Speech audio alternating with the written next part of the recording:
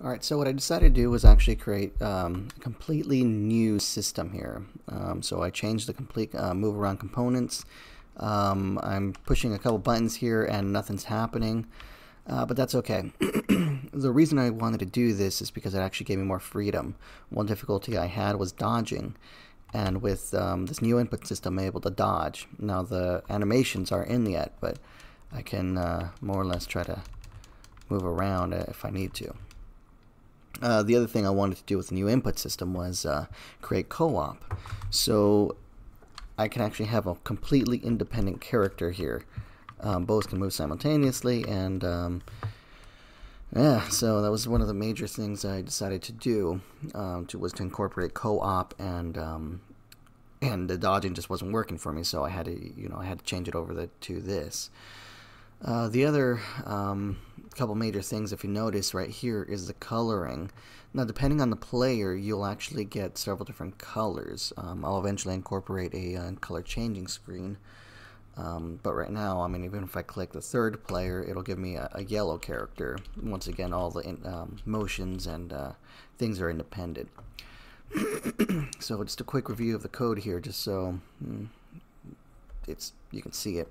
Alright, um, basic movement stuff is going to be here, some directional stuff, um, also implemented um, this thing called lerp, and that's what I used for the dodging.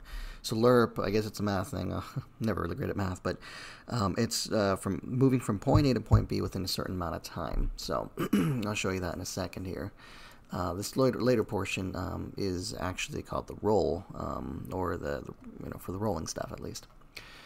Alright, here we're assigning a game object. Now I'm using, or excuse me, a game tag. Um, the game tag is what I'm using for an index to determine who's player 1 versus who's player 4.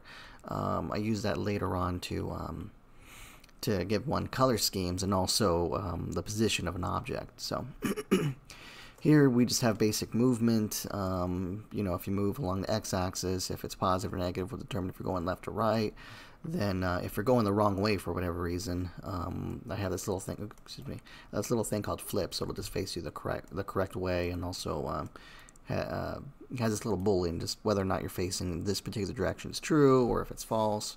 Just a quick little assignment there. Uh, here is determining whether or not we should lerp, um, and once again, lerp is for rolling. Uh, here's the rest of the movement, just to um, Quick little scan there. Here's the flip that I was mentioning. If you're facing the wrong way, uh, or if you're facing a certain direction, it'll flip the um, the animation as well as uh, just the sprite. So here we have the light attack and the heavy attack. Um, right here I have just a um, just it written out like, oh yeah, you're doing a light attack. This is you're doing a heavy attack. I don't feel like um, animating all the components for that. Uh, right here is all the roll stuff. So depending on the direction you're facing, um, well, let's. I guess we should probably start up here.